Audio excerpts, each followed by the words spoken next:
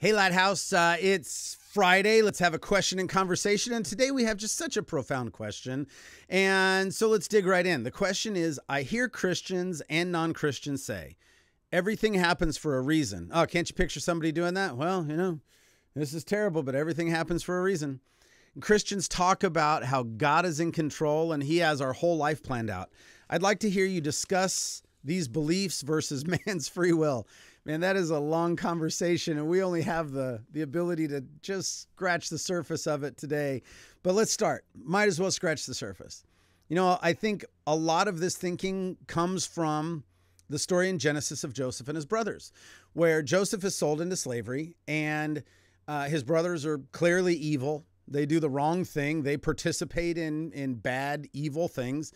And Joseph's life takes turn after turn after turn that results him with him being second in command in Egypt and and then because of his position when his brothers come groveling um, from uh, Palestine the nation of Israel is saved from famine because Joseph recognizes his brothers as his brothers. And at the end of the story, uh, Joseph's brothers are groveling and saying, Oh, we're so sorry. Could you please forgive us?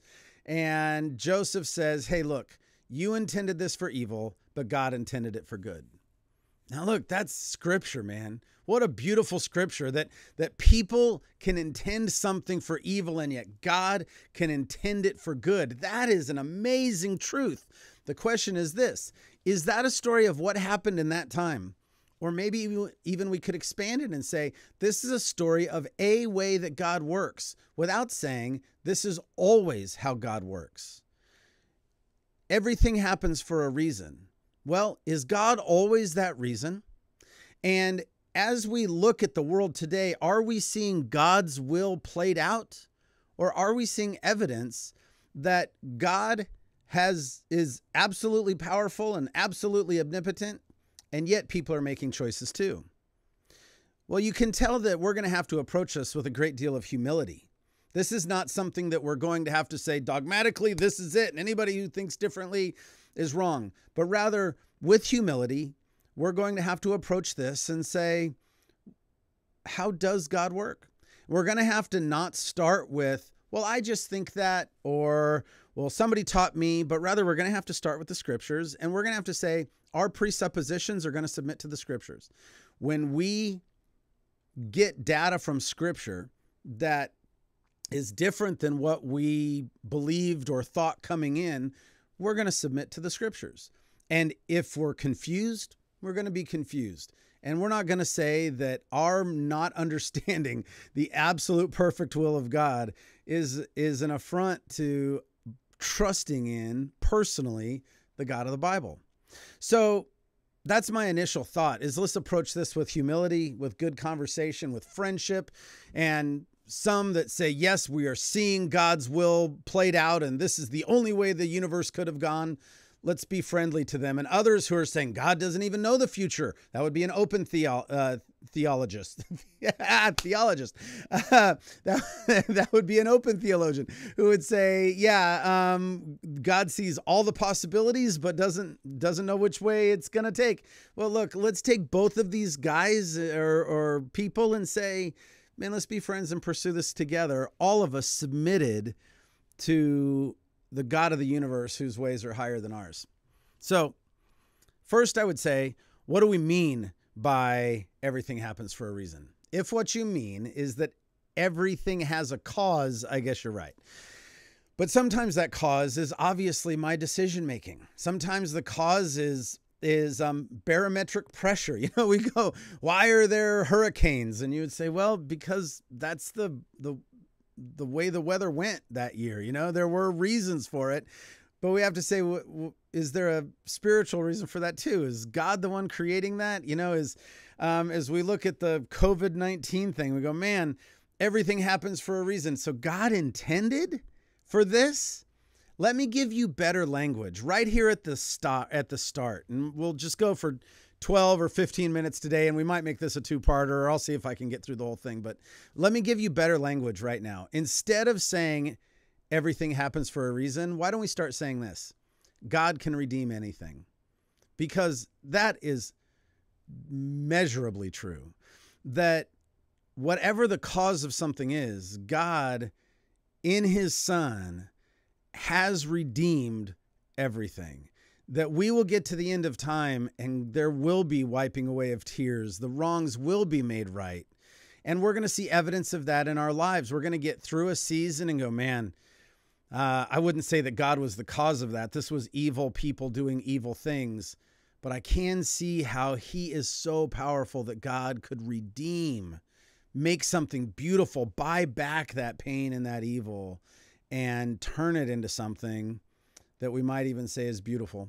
Might even say there's some light shining through those cracks. So, everything has a cause. I'm with you. That cause is always God. I'm less sure. Um, what about this? Everything happens for a reason. By that, do you mean that everything is predetermined, that everything is laid out? There was no mystery in how this was all going to play out? Well, I have several answers to that.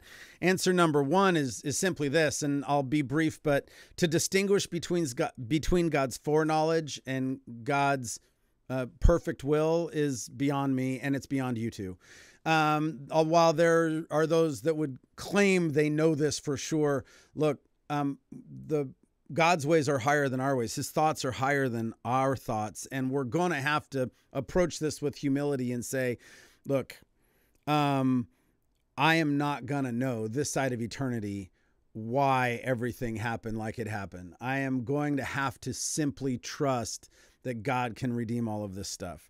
So the reason I trust God is not because my life is laid out every step um, in a way that can't be changed. I trust God because I trust Him personally, because I know that whatever happens, my will playing out, other people's will playing out, I know that God is powerful and will be with me. Um, not that He will make every choice for every human, but that He will be there and that He is the powerful King of the universe, able to redeem anything. So, answer number two to is everything predetermined would be something like this. Well, the volitional will of God is evident in Scripture. The sovereignty of God is unassailable. We can't, there's nothing to be said against the sovereignty of God by a serious student of the Scriptures. Um, if God says something is going to happen, it will happen. Uh, and I would say this is most evidenced by God's covenant keeping and and by Christ himself that from Genesis 3 a savior is promised that a savior is promised throughout the Old Testament and that at just the right time in exactly the right way to exactly the right people Jesus appears. God keeps his promise. And it's not just evidenced in Christ, but it is most evidenced in Christ. And we would say that, look, in the same way that that um, a king is has ultimate authority in his kingdom. God has ultimate authority in the universe. But saying that God's will is effective and saying that God has predetermined all of history are two very different things and we need to we need to think deeply about that. Let's think about it like this. It would be pretty easy for you and I to imagine a God who was so powerful that he could overwhelm my will with ease. He could make me do what he wants me to do. He could change the way I think, feel, and act. We could imagine a God who is that powerful and yet chooses not to overwhelm my will. In the same way, again, that a king might rule over his subjects. Now, the king, if he wants to throw people in jail or conscript them into the army or make them the mayor or whatever, he can do whatever he wants to do. But that's not saying that he is going to take over the will of every person. If you think about parents in a family as you have toddlers running around, well, you certainly can get them where you want to get them, but you don't always. So we could imagine, just for the sake of argument, we could imagine God being ultimately powerful and yet designing a world with other creatures who are also volitional creatures. So while so our um, will might not be an attack on God's will. It could be that while God has is absolutely omnipotent, absolutely omniscient, we would have nothing to say against those. But it might be that he also chooses to let people make choices. Which brings me to answer number three. Um, to the question, is everything predetermined? While the volitional will of God seems evident, it's absolutely evident. If God wants something to happen, it's going to happen. If God makes a promise, it's going to be kept. There's you can't read the scriptures honestly and say that that's not taught. At the same time, the the volitional will of mankind also seems just as evident in scriptures. And I would say that this is evidenced by the conditional nature of the covenants.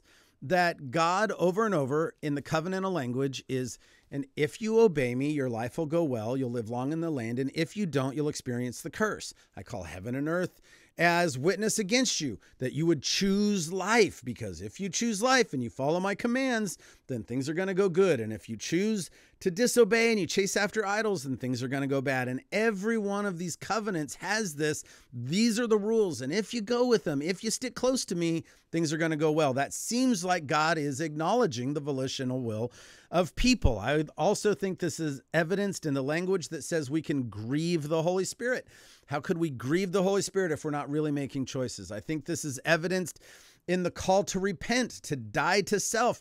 Repent means change decisions, to make a, a, a mental decision of my own free choosing to turn from myself and move towards God, to change directions.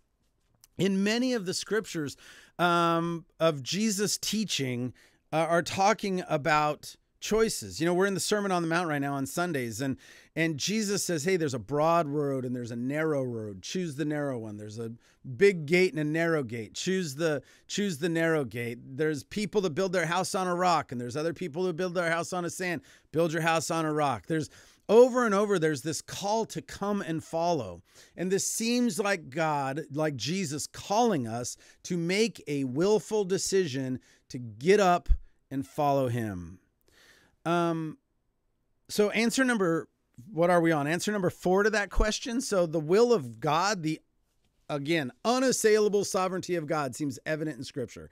God's will is absolutely effective. Also, it seems to be that in his choosing, God made a universe with people who also make choices. And the next answer to that, the next piece of information to that is this it seems to me that there is at least in part a dynamic relationship between people and God. So again, open theology might go too far, where um, an open uh, theology stance might be that God doesn't know the exact future, sees it all laid out, but doesn't know uh, which choices people are going to make. Um, I don't know. That might be a little far. Uh, but the relationship between God and man does seem exactly that, that it is a relationship. I don't have a relationship with somebody. I don't have a relationship with a robot if I'm completely controlling them. I don't have a relationship with somebody who's completely controlling me. Rather, a relationship is between two volitional people. And it sure seems like that is the way people and God always did, always have, and always will relate is in a mutual choosing. God chooses us and we choose him. So, back to what might you mean by um, everything happens for a reason? You know what? We've covered a lot of ground. Why don't I take the rest of this uh, tomorrow on Monday? We'll pick this back up. But let me leave you just with with those rails to run on, that to think about. Do you agree that the will of God is effective and evident in Scripture? Do you agree that the will of man is evident and um, taught in Scripture? Um, and then do you believe that what is happening between the volitional, willful God and the volitional, willful human? Now, we're not saying that these have equal authority, equal power. Not at all. If God wants something to happen, it will happen. But what kind of a universe has God created? Everything happens for a reason. Let's let's ditch that language. Instead, why don't we say this incredibly sovereign, powerful, loving God can redeem everything, including the evil choices made by these volitional, willful humans. All right, we'll pick this up on Monday.